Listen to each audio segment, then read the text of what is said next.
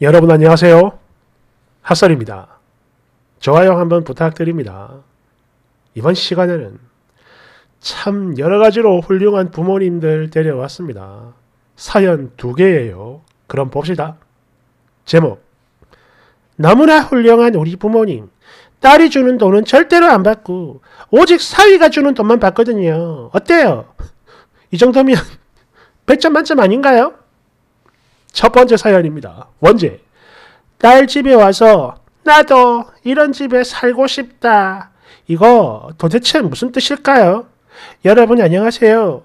저는 정말 어려운 가정 환경 속에서 살다가 부모님 도움 하나도 없이 아니 오히려 제가 생활비를 들이면서 조금씩 조금씩 돈을 제 힘으로 모아서 결혼까지 한 30대 초반 평범한 여자입니다. 남편과 결혼한 지 이제 3년 차 됐어요. 아빠는 오래전에 돌아가셨고 저는 무남 동녀라 현재 친정 식구라고 해봤자 저희 엄마 딱 한 사람뿐인데 저희 신혼집 집들이를 포함해가지고 지금까지 한 10번 정도 다녀갔어요.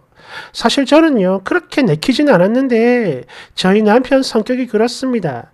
양쪽 부모님들 번갈아 초대해 가면서 식사 대접하는 거. 이런 걸 되게 좋아해요. 아, 물론 저도 무조건 싫다는 건 아니에요. 단, 너무 잦은 게 아닌가 하는 생각만 있을 뿐이죠. 여하튼, 지금 저희 부부가 살고 있는 집, 그냥 평범한 30평대 신축 아파트거든요. 참고로 자가 아니고 그냥 전세예요. 그런데요, 이런 제 마음에 묘하게 걸리는 게 하나 있습니다. 바로 저희 엄마. 그러니까 엄마가 저희 집에 놀러를 왔고 여기서 저희 남편이 없을 때마다 늘 저한테 하는 말이 있어요. 아이고, 너희 집은 참 좋네. 나도 죽기 전에 이런 데서 살 수 있을까? 너희들은 다리 쭉 뻗고 살 수 있어서 좋겠다. 우리 망치가 엄마가 키우는 강아지예요. 저번에 데려왔을 때 너희 집에서 신나게 놀다가 이제 집에 가려니까 싫어하던데 그걸 보니까 내 마음이 너무 아프더라.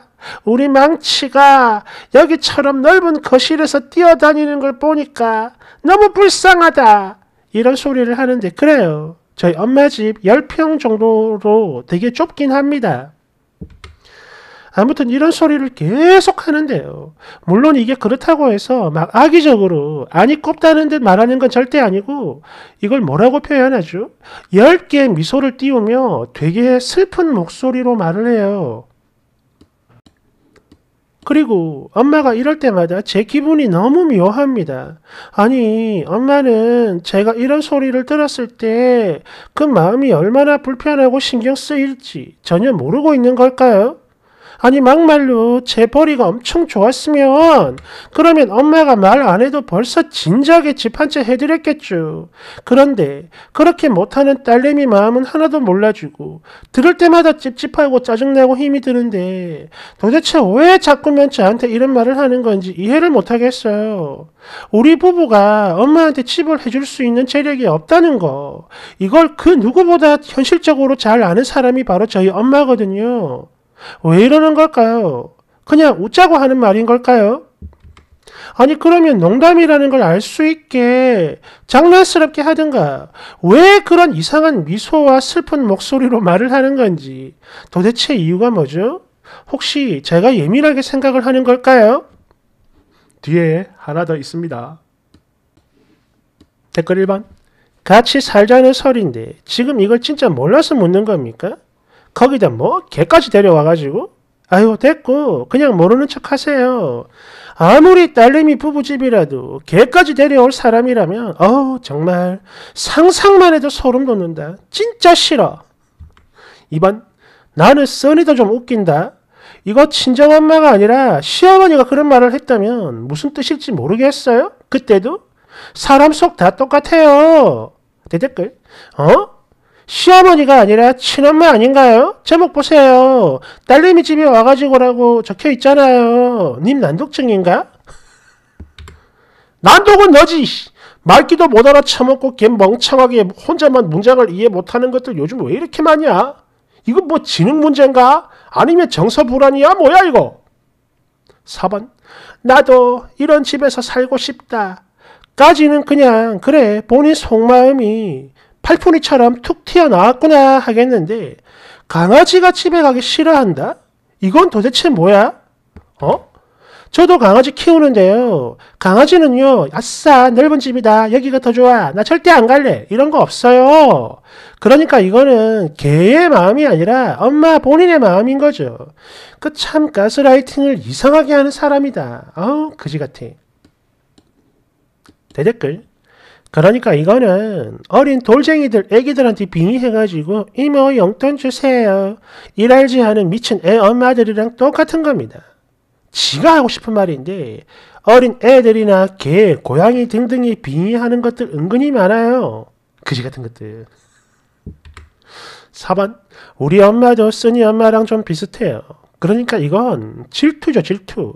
뭔 소린가 하겠지만 딸을 질투하는 엄마들이 진짜 있거든요. 정말 싫어. 딸이 새 집으로 이사를 가면 그거 응원해주고 그래 네가 행복하니까 엄마도 좋다.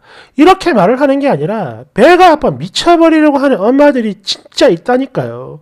너무 저주스러워. 대댓글 헐 우리 엄마만 그런 줄 알았는데 그게 아니었네요. 아니 뭐 이런 부모가 다 있지 했었는데 이런 사람들이 진짜 있긴 있군요. 2번 딸내미 질투하는 엄마들 생각보다 되게 많아요. 안 겪어본 사람들이야 이게 뭔 소린가 하고 당연히 모르겠지만 심한 경우 딸이 살 빼고 이뻐져도 그걸 질투하고 그런다니까.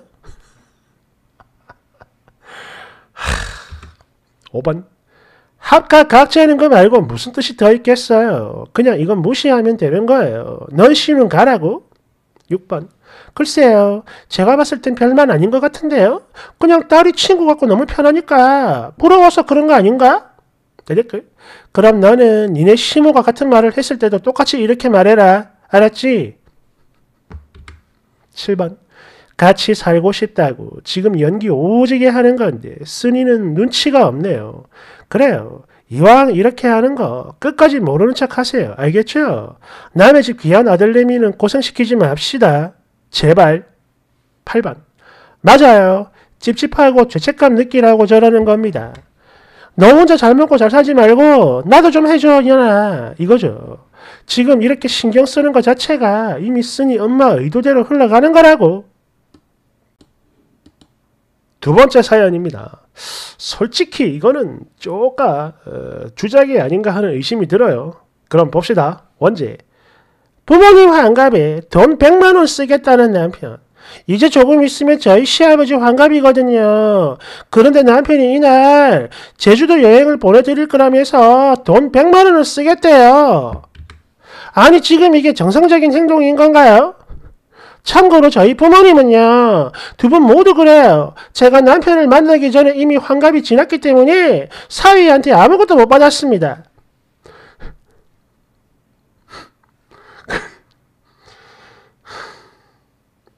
그러면서 남편은 저희 부모님 칠순 때 똑같이 100만 원씩 챙겨드릴 거라고 하는데요. 아니 그렇게 따지면 2년 뒤에 있을 시어머니 환갑이랑 또 시부모님들도 훗날 칠순 올 거 아니야. 그러면 뭐야? 시댁에 훨씬 더 많이 쓰는 거 마찬가지 아닌가요? 이거 너무 불공평하고 이해가 안 되는데 속상해 미치겠는데 이 부분 따져도 되겠죠? 더 있어요. 댓글 1번. 그래 따져라. 따지는 김에 네 뭐가지도 같이 따면 좋겠다. 2번 아니 이건 어디 모자란 쓴인가? 아니 네 남편 만나기 전에 진학 환갑을 이제 와서 뭐 어쩌라고 그거는 자식이 네가 알아서 챙겼어야지 3번 아니 돈 천만 원 쓰는 해외여행도 아니고 고작 100만 원에 제주도 보내드리는 건데 이걸 뭐라고 온 동네방네 떠들고 앉았어 아무 날 아니라도 자식이면 보내드릴 수 있는 거 아닌가? 하긴 평생 효도를 한 번도 해본 적이 없으니 네가 알 턱이 있나? 4번 쓴이는 부모님 환갑 때 그냥 대충 외식으로 퉁쳤나 봐요. 형편이 안 되면 어쩔 수 없는 거지만 대부분 자식들 100만 원 정도는 씁니다. 이거를 따져 묻는 쓴이가 미친 거라고요. 5번 와 남편 개불쌍하다. 네가 인간이냐? 6번 보니까 남편 놈은 너무 멍청해서 말이 아예 안 통할 것 같고 시부모님한테 직접 전화 걸어가지고 쓰니가 이야기를 하세요. 지금 시댁에만 돈 100만 원 들어가고 있다. 우리 쪽에는 단 한 푼도 안 들어가는데 이건 뭐냐? 차별이다. 이렇게 말하면 그걸 얼른 깨닫고 당신들 돈 안 받으실 거예요. 만약 이렇게 했는데도 못 알아듣는 집안이라면 심각하게 이혼도 고민해 보는 걸 추천드립니다. 네, 됐으니 감사합니다. 근데 이거를 제가 직접 말씀드린다 해도 이해를 해주실진 잘 모르겠어요. 2번 헐 감사합니다 이지랄 끌끌끌 진짜 멍청하고만 7번 부모님 환갑에 돈 100이면 겨우 자식 노릇하는 정도 아닌가? 그리고 쓰니 부모님 환갑 때는 쓰니 네가 드렸어야죠. 네 됐으니 당연히 저희 부모님 환갑 때 제가 챙겨드렸죠. 그래도 아웃백 사드리는 걸로 끝냈는데 남편은 돈을 100만 원씩 쓰겠다고 하니까 너무 놀란 거예요. 2번 아웃백 미친 야 그 부모 누군지 몰라도 자식 참 잘 키웠네. 깔깔깔깔 추가 글 써요. 아니 환갑 때 다들 이 정도로 부모님께 하는지 정말 몰랐어요. 사실 저희 부모님은 당신 자식에게 큰 돈을 절대 받지 않겠다는 훌륭한 분들이라 저 역시 부모님에게 100만 원씩 쓴다는 건 상상도 못 해봤었거든요. 그래도 제가 틀린 거라면 이제라도 조금씩 고쳐볼게요. 아무튼 이 이야기를 남편한테 했더니 남편이 약간 문자로 신경 못 써줘서 정말 미안하다고 사과하면서 나중에 저희 부모님 칠순 때 200만 원씩 드리겠다고 했어요. 그러니까 시부모 환갑 칠순 총액 양가 400씩 똑같이요. 물론 저희 부모님은 이런 큰 돈 절대 받지 않은 분들이겠지만 그건 뭐 나중에 생각하려고요. 어쨌든 조언 감사합니다. 댓글 1번 추가 글도 완전 개인 입상이네. 저희 부모님은 자식에게 큰 돈을 받지 않는 훌륭한 분들. 아니 그렇게 훌륭하신 분들 부모님 밑에서 왜 쓰니 같은 게 태어났을까? 미스터리네. 2번 저희 부모님은 자식에게 큰 돈을 받지 않겠다는 훌륭하신 분이라고 진짜 웃기는구만! 끌끌끌끌끌 3번. 훌륭한 분들이라 딸내미가 주는 100만 원은 안 받지만 칠순 때 사이가 주는 400만 원을 받겠다 이거네. 끌끌 뭐야? 부분적으로 훌륭한 그런 분들인가? 4번. 야, 이슨이 너무 불쌍하다. 그냥 가난한 게 아니라 마음까지 가난한 사람이라서 너무 안타깝네요. 야 이거 이거 부모님들 칠순 전에 돌아가시면 개구품 물겠네? 억울해서?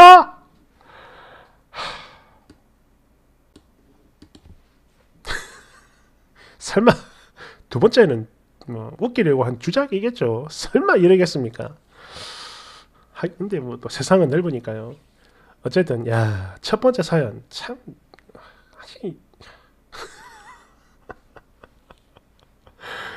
정말 대단들하네. 어, 말할 말이 없습니다. 어, 여러분들이 대신해 주세요.